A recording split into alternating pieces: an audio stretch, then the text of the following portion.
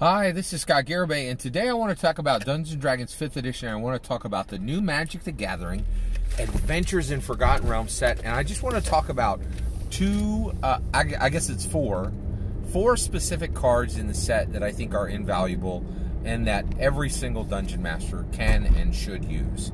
So I know there's debate about whether these Magic the Gathering Forgotten Realms cards should be a part of your Dungeons and Dragons game. I think the debate's over. I, I really think these are really fantastic.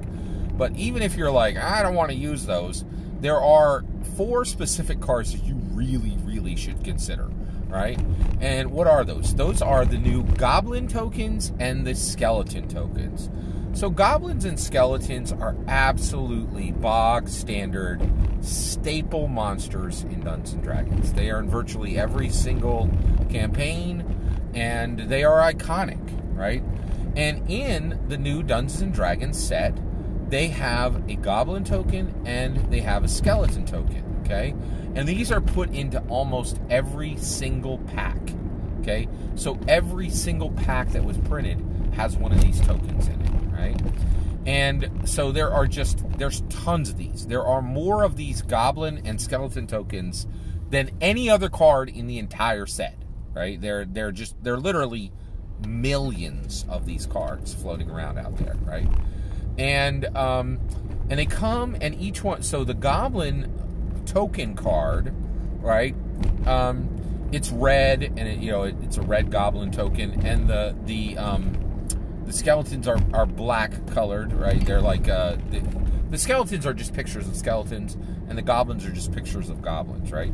But the cards are beautifully, beautiful pictures, right? And they're they're standard card sized. And then in addition to that, these these tokens, which were printed at higher frequencies than any other card in the set, right? Um, also, they're they're in foil and non-foil, right? So now you have a non-foil goblin card, which is incredibly easy to get, right? You can buy you can buy a hundred for probably ten bucks, right? Very very low numbers, right? And then also the skeletons are the exact same, and you can get both um, non-foil and foil. Now, how would you use these? Well, you can say very easily, well, uh, you know, five, you come across a group of six uh, skeletons, but one of them its bones glow with a ga- with a ghastly blue light, right? And that's the leader skeleton, and he has some, you know, some special thing about him. And when he does, you know, when he attacks, he does a plus one d8, right? Or, uh, you know, when he attacks, um, maybe he, uh, if any any failed roll that is five or less, uh, when you know someone attacks him, their fitting, their you know footing slips, and they they end up prone after if they miss him, right? That kind of thing, right?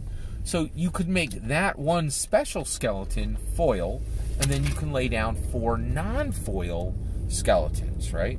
Now, the reason why, and you can do the same thing with the goblins. The reason why these are really helpful is they're just incredibly visual.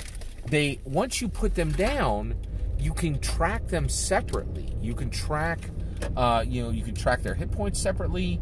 Um, and you could even track different effects that would be on them, their locations, all these kind of things. They're just super cheap, super available, and they deal with an absolute staple monster that's in Dungeons Dragons.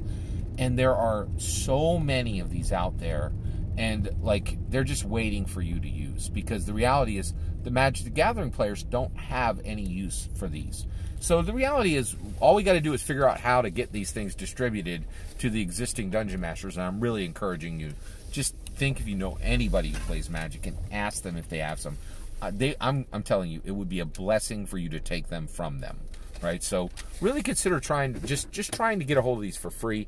They are fantastic, and this set being made for us makes our game better in a lot of ways. Right, and I think if you just try these these uh, tokens, you're going to start to use these cards in your games a lot. I intend to massively change uh, my stuff. All that's my opinion. Love to hear yours. Let me know in the comments below. Please consider liking subscribing, and have a wonderful millennium.